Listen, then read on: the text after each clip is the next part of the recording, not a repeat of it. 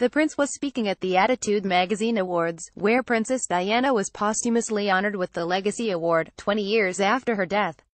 Prince Harry said if his mother were still alive, she would be standing alongside those living with HIV.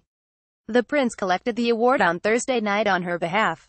In April 1987, Princess Diana opened the UK's first purpose-built HIV AIDS unit that exclusively cared for patients infected with the virus, at London Middlesex Hospital.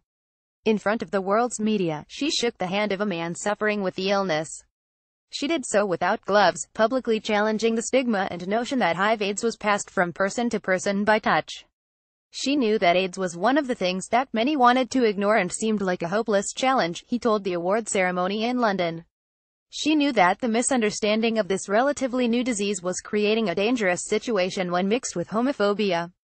So, when, that April in 1987, she took the hand of a 32-year-old man with HIV, in front of the cameras, she knew exactly what she was doing.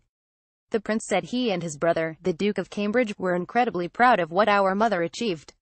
If she were still alive, he said she would be demanding free and available testing and treatment for people all across the world. I believe that she would be telling everyone across society not just those most at risk that with effective treatment being free and available in the UK, that we must all embrace regular testing both for our own sake and for those that we love, he added. As he accepted the award, the publication unveiled its new, limited edition magazine cover featuring a black and white photograph of Diana by Patrick Demarchelier, news source BBC News.